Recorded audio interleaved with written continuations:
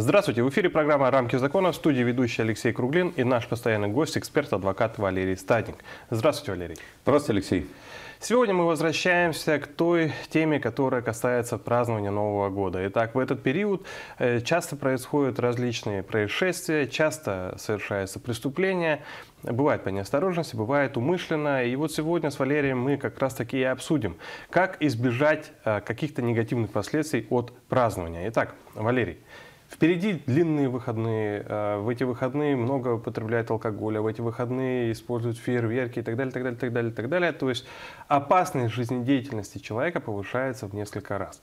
Итак, э, давайте проговорим, на что стоит обратить внимание в преддверии новогодних праздников, ну и, конечно, непосредственно в ходе празднования. Коди празднования. Алексей, да, действительно, сейчас мы подходим к периоду, когда у нас, так скажем, наступает э, отрицательная статистика, да, такая. Отрицательная статистика по травмам, отрицательная статистика по алкогольным отравлениям, пищевым отравлениям, отрицательная статистика по пожарам, отрицательная статистика по, значит, иным каким-то чрезвычайным происшествиям, которые связаны с неосторожным обращением с огнем, неосторожное обращение пиротехникой, э, неосторожное обращение значит, с электроприборами какими-то различными, света, э, звука приборами. Значит, э, поэтому действительно нужно в настоящий момент сейчас уже нам просматривать эту статистику. Она ежегодно у нас отрицательная в этот период. И исключить данные происшествия. Максимально исключить. Конечно, мы понимаем, что их исключить полностью невозможно. Невозможно каждого человека настроить на необходимый лад. Невозможно каждого человека и потребовать от него, и заставить его исполнять правила пожарной безопасности и другие правила, скажем так, общественной жизни и поведения.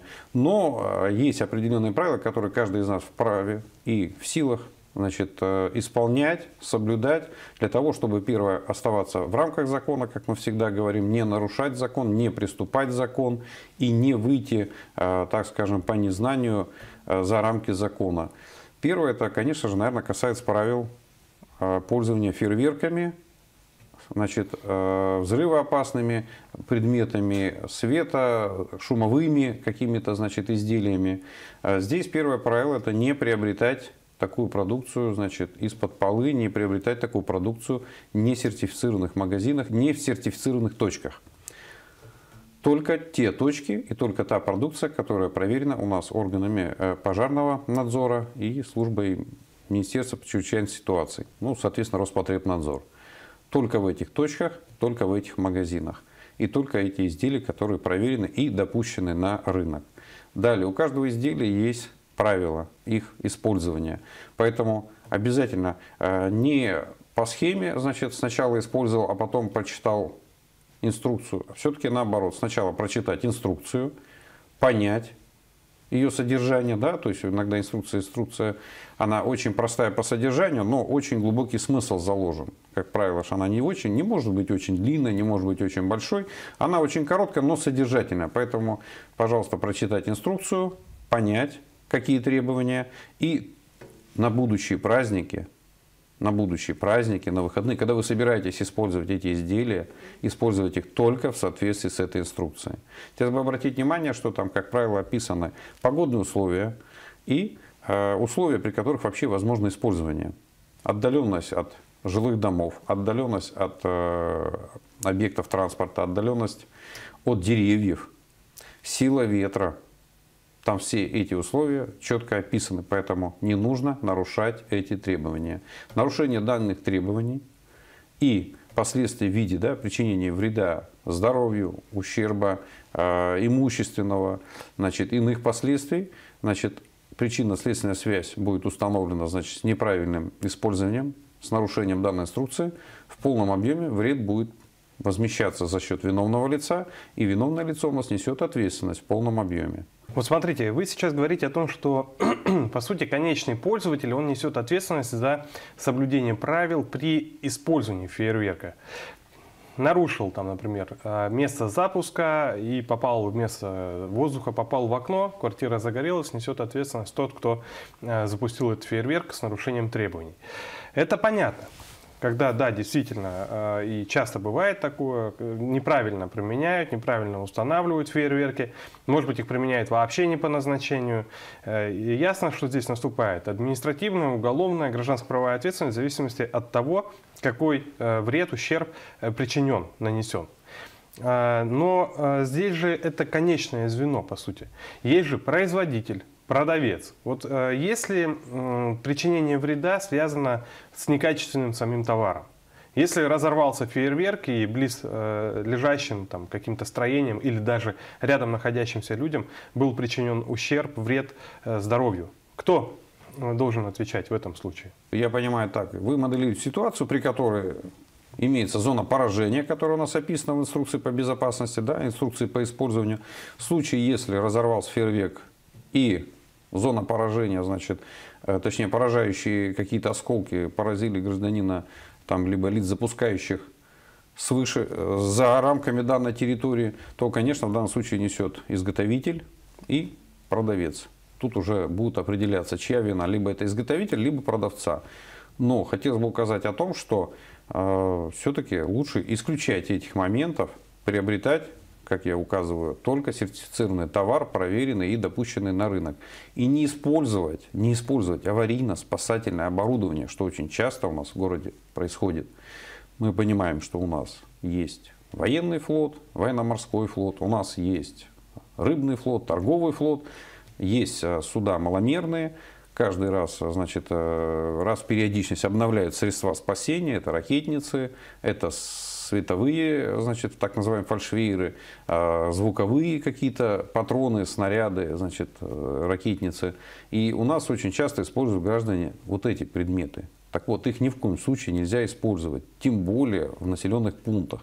Их вообще нельзя использовать не по назначению, а тем более на территории населенных пунктов, потому что фактически это э, оружие, это очень страшное оружие. И поражающее действие этого оружия, она иногда сильнее, чем у огнестрельного оружия. Если пуля поражает, да, то есть какой-то определенный участок, то ракетница выжигает все вокруг, там, да, все органы, э, все, что ей попадается на территории там, порядка 50-60 сантиметров. То есть там шансов нет никаких вообще. Поэтому исключить эти предметы лицам, ответственным в настоящий момент за списание этих предметов, за утилизацию, ни в коем случае да, не передавать для утилизации посторонним лицам, не передавать для использования кому-либо, а именно утилизировать в установленном порядке не дать возможность использования данных предметов на территории населенных пунктов. Понятно. Это, кстати, очень важное замечание. Действительно, город морской, э, город связан с тем, что используются различные сигнальные средства. И, конечно, они, эти э, сигнальные средства, все-таки не предназначены для того, чтобы ими баловались. Ну, грубо говоря, а по-другому, как баловцом, назвать использование э, сигнальных ракет, например, в городе невозможно. Тут, Алексей, все-таки не баловство. Здесь все-таки преступная такая халатность. Это фактически как преступление. Это как пьяным сесть за руль. Это как э, в населенном пункте собрать охотничье ружье и передвигаться по улице в заряженном состоянии. То есть это уже фактически начало какого-то преступления, я Первый бы сказал. Шаг да, да, это уже это подготовительное и начало. То есть если не пресекли, то человек вполне имеет возможность довести до конца. Поэтому здесь вот даже я так считаю. А вообще их можно использовать или нет? Запрещены ли к обороту вот эти вот средства? То есть понятно, что э, сигнальная ракета, и как вот можно ли ее пойти купить, продать и вот так вот? Они используются строго в определенных случаях. Они могут быть приобретены да, для оборудования маломерного судна. Они могут быть использованы охотниками, рыболовами. Для чего? То есть для подачи каких-то сигналов. А, возможно, их используем, мы знаем, да, для отпугивания диких животных при нападении. Но ни в коем случае это не для развлечений, не для празднований. Это, я еще раз повторю, это очень серьезный предмет. Это очень серьезное оружие, я бы так сказал. С очень серьезным поражающим действием. Поэтому нет, его нельзя использовать ни в развлекательных целях, а лицами, которые не умеют ими пользоваться и в, тем более в населенном пункте. Я почему затронул эту тему? Просто не один праздник у нас происходит, когда даже на слух мы возможно определить, когда стреляют светошумовые вот эти ракетницы, когда стреляют ракетницы вот именно как раз не для развлечения, а именно вот эти профессиональные средства спасения и, значит, которые ну, не должны использоваться у нас новогодние праздники, потому что это однозначно, у нее там другой период горения, у нее другая температура горения. В случае попадания в квартиру это будут совсем другие последствия. Там, затушить ее практически невозможно. То есть там горячий фосфор его и магний его не потушить. Поэтому исключить эти предметы строго под запретом. Понятно. Но а, ракетницы, фейерверки – это не единственное, что может угрожать нашим э, телезрителям в период, особенно в период предновогодний и новогодний. Давайте вернемся к алкоголю. Продается он во многих магазинах. Многие из э, жителей Мурманской области, да не только Российской Федерации, да везде, по всему свету, пытаются приобретать товар э, дешевле. Э, многие обращаются в такие, э, по-другому назовешь, точки, где он якобы продается дешевле. Насколько это может быть опасно, какие могут быть последствия при приобретении, например, алкоголя там, где нет лицензии, э, на что стоит обратить покупателям?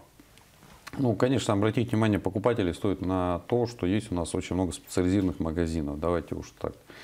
Специализированные магазины и сетевые магазины большие. Большие торговые центры. Конечно, в данных местах продавать поддельный алкоголь – значит, недопущенные, опасные для здоровья, практически невозможно. Почему? Потому что большие сети, они несут огромную ответственность, это сумасшедшие штрафы, ну, это имиджевые потери, это нет смысла. То есть для больших сетевых магазинов, для больших торговых центров и для специализированных магазинов торговать таким алкоголем. Поэтому исключить приобретение алкоголя в каких-то, может быть, маленьких магазинах, в ларьках, в торговых э, павильонах, где, во-первых, нет лицензии на продажу спиртного, тем более нет лицензии на продажу спиртного. Ну и, соответственно, данные точки, они не могут гарантировать, не пользоваться услугами приобретения, конечно же, алкоголя с рук. Но понятно, потому что здесь вообще не найти потом ни виноватого, ни крайнего то есть в случае отравления таким алкоголем. Вот а, э, об опасности. То есть понятно, что э, пытаются найти себе выгоду и продавцы, и покупатели. А опасность какая? Давайте, может быть, вспомним несколько примеров, к чему ведет приобретение контрафактного, ненадлежащего качества алкоголя. Э, ненадлежащее качество алкоголя у нас, как правило, последствия, они, э, как все, описаны либо в медицинских документах, либо в материалах уголовных дел. Первое – это причинение вреда здоровью. Да? То есть такие граждане при употреблении такого алкоголя, граждане попадают в лечебное учреждение на праздники с серьезными отравлениями, с э, тяжким вредом здоровью, причем, да, там определенные спирты вызывают и слепоту, и повреждают поджелудочную и печень таким образом, что потом она просто не подлежит уже восстановлению. То есть там врачи будут бессильны, никакой не смогут они такой уж помощи оказать. Все-таки это уже будет путь, так скажем, в одну сторону.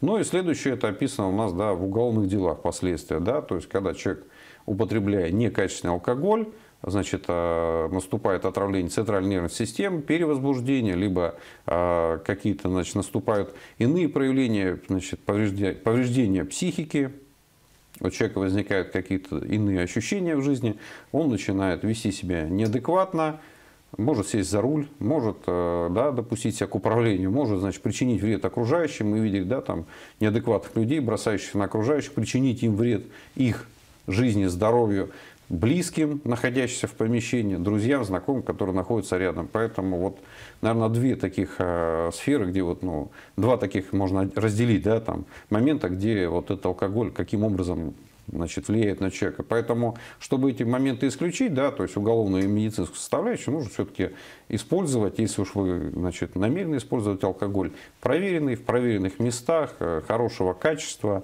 э, имеющий значит, заводского выпуска обязательно, вот. И заранее приобретенные, наверное, все-таки в больших э, магазинах специализированных. А посадить можно тех, кто торгует контрафактным алкоголем? Да, у нас есть, конечно же, предусмотрена уголовная ответственность за значит, э, оказание услуг, не, соответ... Э, не отвечающих требованиям безопасности, либо там, сбыт продукции. Вот. Ну, вы понимаете, да, что уголовная ответственность в виде лишения свободы, да, такое наказание, наступает только в случае тяжких последствий, если причинно-следственная связь будет установлена. А установить причинную связь между лицом, которое изготовил данный алкоголь, и лицом, которое употребило и отравилось да, там, насмерть там, или тяжкий просто вред здоровью наступил. Очень сложно эту цепочку будет раскрутить. Поэтому здесь э, наказание это крайне редко последует. Мы понимаем об этом. И второе, не всегда летальный исход, не всегда причинно-следственную связь можно установить. Фейерверки, алкоголь. А, есть еще, а какие, какие еще есть опасности непосредственно в ходе э, предновогодней вот этой суеты и празднования? Электроприборы. Мы понимаем прекрасно, что праздник, все находятся дома.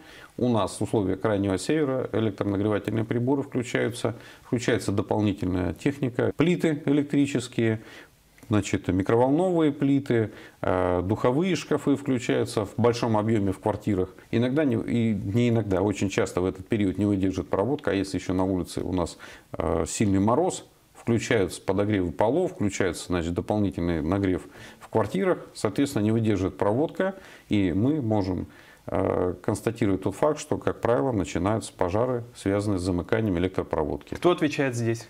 У нас на каждую квартиру выделена определенная мощность. Проводка рассчитана на эту мощность. Если потребитель, да, находящийся в квартире, данную мощность превысил, вся ответственность лежит на нем. Установить это можно способом описания приборов, которые находятся в квартире, сколько из них а, были включены в сеть, как работали, не работали. То есть это все устанавливается экспертным путем. Поэтому в данном случае сам потребитель. Мы говорим от прибора до электросчетчика, до входа в квартиру. Но, опять же, может замыкание произойти в общем местах общего пользования, да, так называемый подъезд. Может там возникнуть замыкание, может возникнуть в РУ дома. В РУ? Э, в одно устройство, да. В одно распределительное устройство дома.